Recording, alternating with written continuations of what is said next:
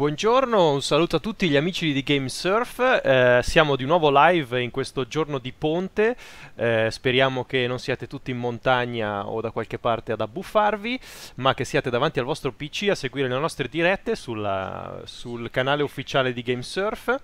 E visto che eh, questo weekend è stato un po' l'insegna di Final Fantasy VII, di cui è uscita proprio la versione eh, PlayStation 4, appunto credo già sabato, eh, non potevamo che dedicare un live a questo attesissimo, a questo, come dire, ricordato con grande nostalgia eh, titolo PlayStation. Quindi eccoci qua con Final Fantasy VII, non potevo essere da solo e infatti qui con me c'è Tommaso. Ciao, ciao a tutti.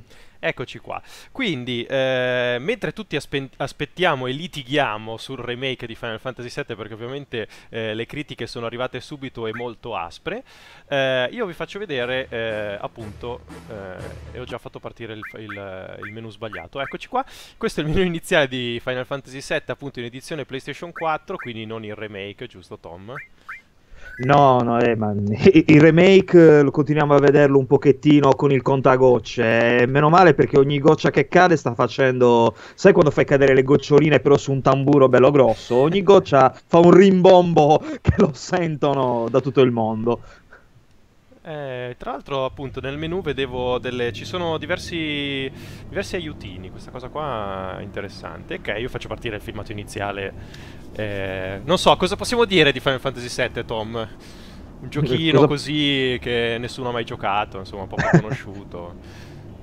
Un gioco, un gioco, che nessuno ha mai visto prima. No, eh, possiamo dire per esempio che originariamente il progetto nacque su Super NES, SNES, il Nintendo 16 bit. Mm-hmm. Eh, successivamente Sony invece si aggiudicò l'esclusiva temporanea, tra l'altro, perché poi comunque il gioco è uscito anche su PC.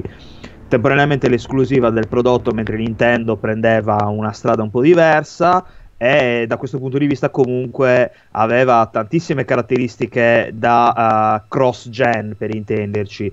Per esempio gli scenari bidimensionali con i personaggi invece in 3D però con una grafica eh, molto, mo, eh, molto, prototipale anche per, per PlayStation 1 mm. però già insomma eh, vediamo questi filmati qua all'epoca erano il non plus ultra insomma salvo poi con, mh, superarsi con le successive produzioni di Square Enix che per tutta la generazione PlayStation 1 e PlayStation 2 sono state un pochettino lo stato dell'arte per quanto riguarda i filmati in computer grafica. Eh sì.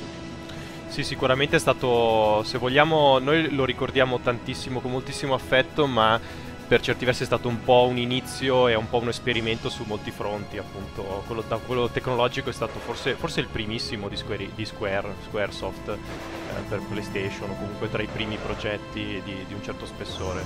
Quindi chiaramente c'era ancora da prendere confidenza con un hardware eh, completamente nuovo. Certo.